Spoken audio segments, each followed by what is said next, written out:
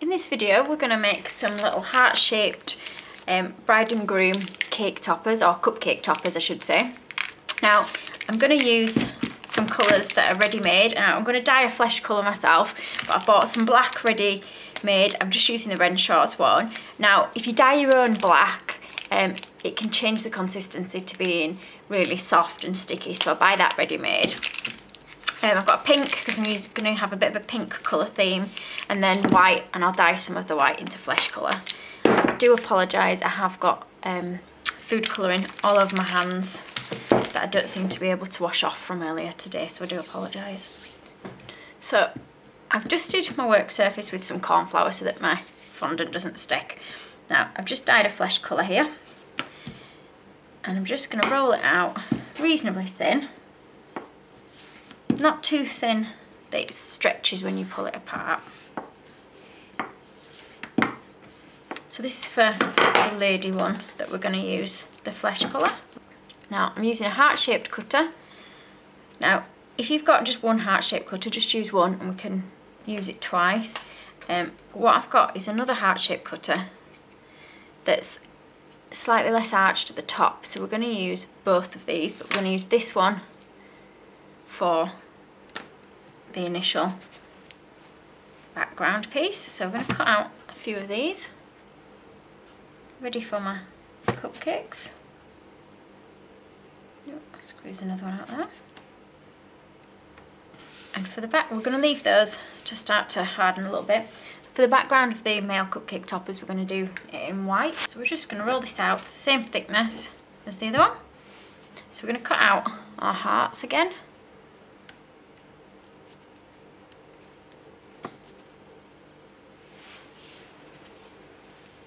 Okay. So I've just rolled out a little bit more white fondant for to go over like my peachy coloured ones. And what I'm going to do is taking a textured rolling pin, I'm just going to roll over to create a pattern. This one's just a little Venice Cake Company one that I've found. So I'm going to push this on, rolling a pattern in to my fondant. I am not too worried about doing the whole thing because I only need a little bit.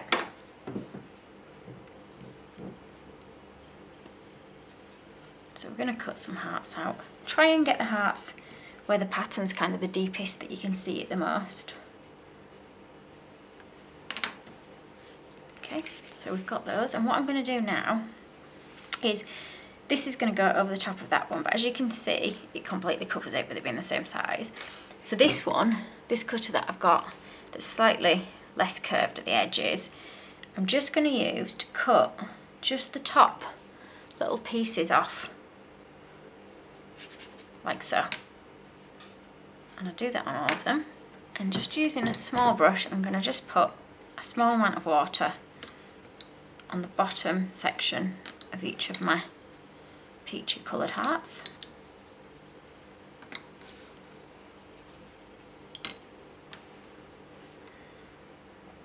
And they're still quite soft at the moment. If you want to let them harden a little bit, you can do. And I'm going to line that up so the points come together at the bottom so it goes on there like that. So you just want a little bit of the peach colour showing over the top.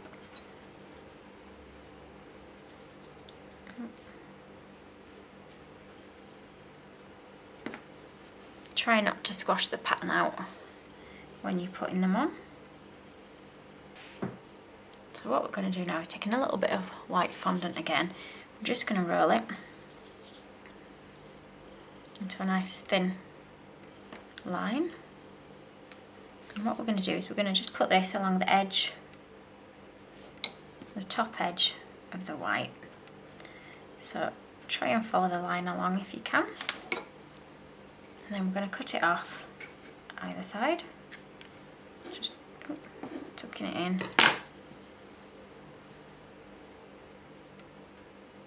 Just make sure there's a bit of water under there to stick it down.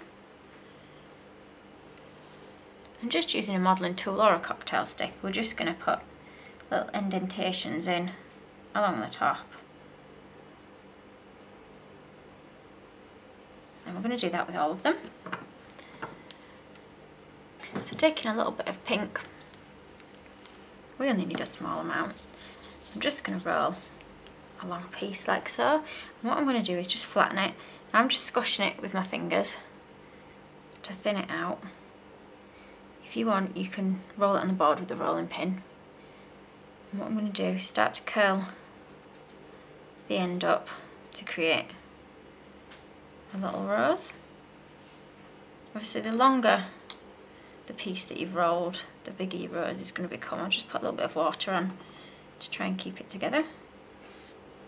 And what I'm going to do is put a bit of water on the back. Again, you can use edible glue.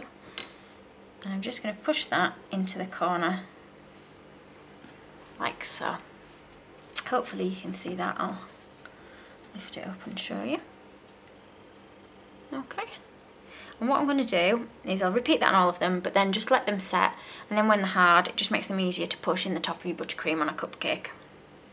So we'll move on to the men's ones next. So we're just taking a bit of the black modelling paste now. Not modelling paste, sorry, fondant. It's just normal fondant. And we're just going to roll it out. It's a bit softer with it being black. So it's a little bit stickier to use. And I'm going to cut some hearts out. Again, using the same cutter I used for the white bits.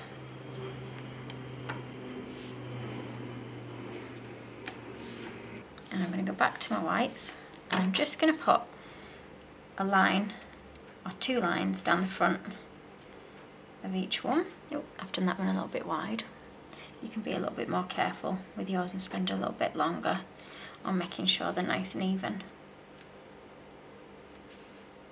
I'm just going to take some tiny black balls of the fondant. I'm just going to run a line of water down the middle of each of my hearts.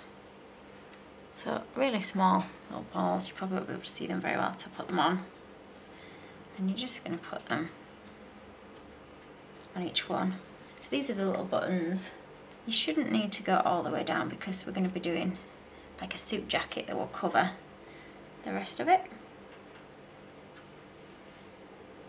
You might even find that these bottom ones end up being covered. So taking the black heart now, I'm going to cut a triangle from the top. Let's turn it upside down. Okay, and what I'm going to do is just cut this bit in half. We'll use these as the little lapels on the jacket. And we're going to put a little bit of water down either side.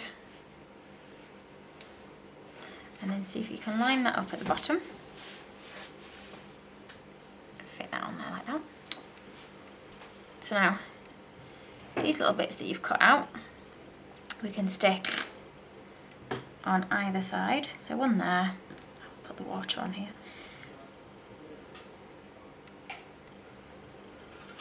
And the other one on there, like so. Okay, and now we just need a little bow tie, and then that one's done. So I've put a little bit of water there ready. You can use whichever colour you want for your bow tie. So I'm just going to use the pink again. I'm just going to roll it out. And I'm just going to get a little heart cutter for my bow tie. So we're going to cut out two heart shapes, like so. I'm going to stick these so that they come in from the centre where you've put a little bit of water. And again, I'll put a little bit of water just in the middle. You can put an indentation at either side if you like. I'm just using the bottom of my paintbrush to do that. And using a bit of the pink that's left, I'm just going to roll a small ball. I'm just going to drop that into the centre like so. Now I'll finish all those, but those are your two, the two different designs, um, and they just they just look nice on the top of cupcakes. Thank you for watching. If you liked this video and would like to see more, please click on the images of the other videos suggested. Also, please do subscribe to my channel using the button at the bottom right hand corner of the screen. You can also visit my cake website and my Facebook page to see more cakes and ideas.